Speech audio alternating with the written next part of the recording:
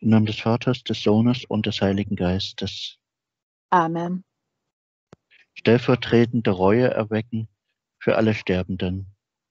Dieses Gebet soll und muss gebetet werden, dass ich sie retten kann. Heilandsworte.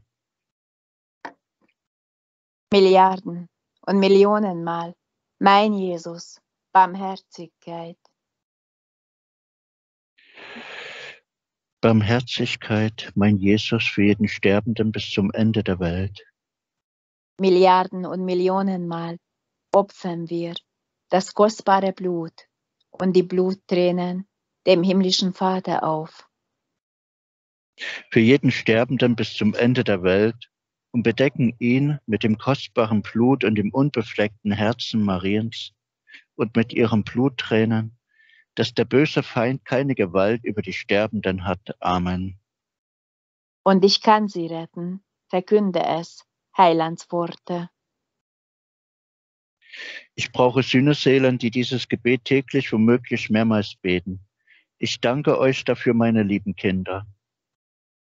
Gott segnet euch mit seiner göttlichen Kraft und auch ich segne euch, eure liebe Mutter. Amen. Gelobt sei Jesus Christus. In Ewigkeit. Amen. Maria mit dem Kinde lieb. Uns allen deinen Segen gib.